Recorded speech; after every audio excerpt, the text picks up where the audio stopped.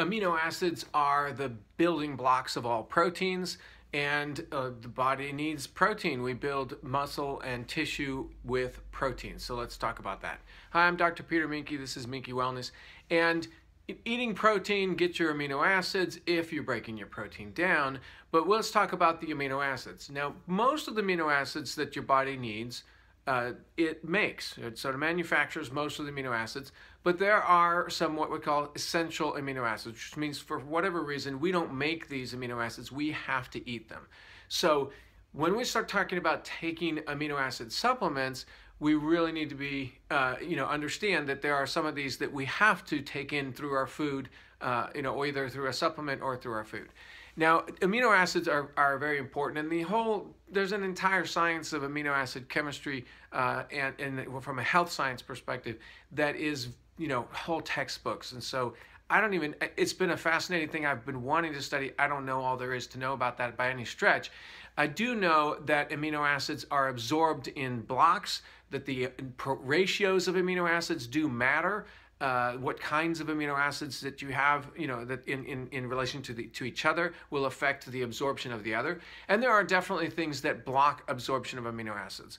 Uh, one of the things that blocks amino absorption of amino acids in your gut is partially hydrogenated vegetable oil, which is one of the big no-nos. We've got to get rid of that. So we've got to stop poisoning the musculoskeletal system by stop eating partially hydrogenated vegetable oil uh, big big deal uh, if you want to get uh, want to be well if you want to be healthy at all but certainly if you're looking to build muscle. Now the the absorption of amino acids is is one thing but then we've got to utilize them at the other end and so really all these ratios all do matter okay? So what i'm going to talk about is this uh, new uh, supplement that we have AminoWise and it is having some interesting effects in our household. So let me share that with you. I have a 20, uh, well, coming up on 20 year old son. I have to bug him to take his teen pack. Uh, you know, if you've seen that video about the teen uh, supplement program, the JuvaTone sulfurzyme uh, combination, and I have to bug him. You know, you kill every once in a while. He'll look kind of pale and, and feel weak, and, and uh, he's growing fast. He doesn't eat enough. Just plain doesn't eat enough to keep up with his body. And so I'll I'll look at him and go, "Have you taken your supplement?" No, I haven't taken my supplement. So he'll take the supplements. Well, I, he started into this, you know, this month with the, you know, supporting the musculoskeletal system, and he started taking the AminoWise. Well, and then I come to find out that you know he's he's he's down. He's he's eating the whole bottle. I was like, "Are are you taking your AminoWise?" So yeah, I like it. So he's taking it on his own. Now this is unusual. Okay, so you know it's got. I know it's got to be helping him. And so I asked him. I said, "Well, why are you taking it?" Well, it, it actually tastes pretty good. I'm like, "Well, that is not why he's taking it. There's a lot of stuff that tastes good." I said, "Well, what? You know, why else? What is it?" He goes, "Well." I don't know if it's helping. You know how they are. I don't know if it's really helping, but since I've been taking this, I don't feel weak. Uh, you know, I don't. I'm not. I don't. I'm never feeling faint. And I'm like, you've been feeling weak and faint. I mean, come on. Uh, so, in other words, he's very stabilized, and and things are going. So, can amino acids give you energy? Well, here's story number two.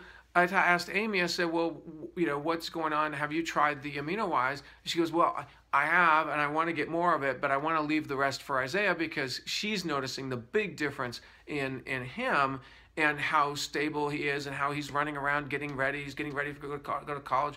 And, uh, and he's doing all this thing. He's going out doing his own shopping, and he's, he's running around having long days and handling it. Well, so she decided to go ahead and, and try some of this stuff. And she did things throughout the, I mean, these are things that would have blown her out. And, you know, she ran around, did all this stuff, and at the end she had energy left over and it was a very noticeable thing. So, what is going on with aminos and energy? So, let me explain something here.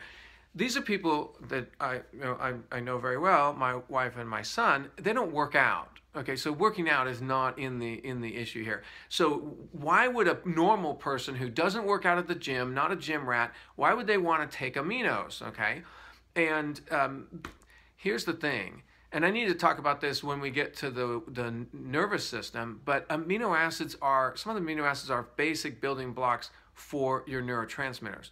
If you don't get good amino acid uh, profiles and absorption, you're not going to get your your amino, uh, your neurotransmitters to function.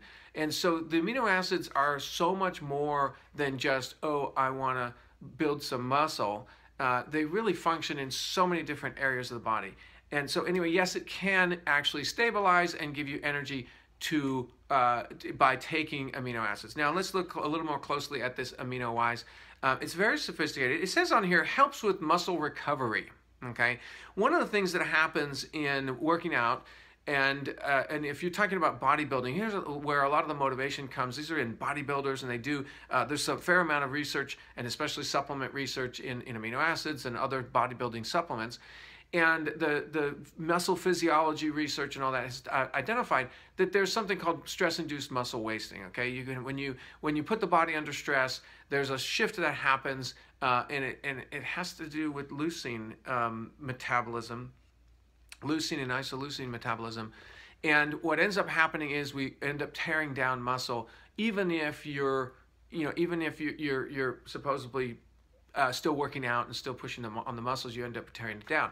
And there's a way to, to insert or, or to kind of short circuit that or stop that process.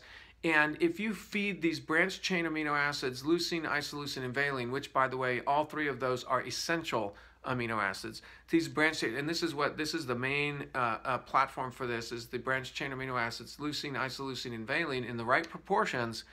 What it does is it stabilizes that process and helps maintain that muscle. And so here we've got helps muscle recovery and enhance performance.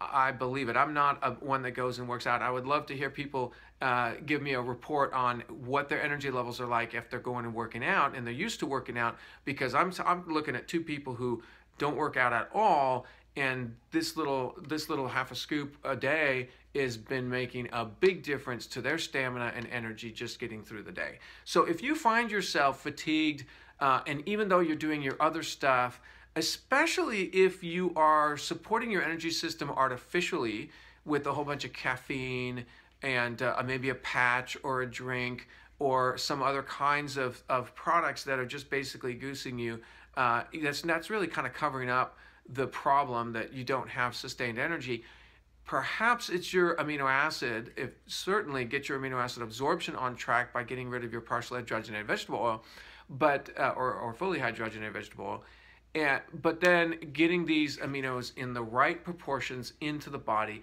and it doesn't take massive amounts. You don't have to have 10 scoops of this stuff. Um, I, I, really think I, isaiah was is, is taking less than one scoop a day and seeing results. So a fabulous fabulous product. This is our new AminoWise.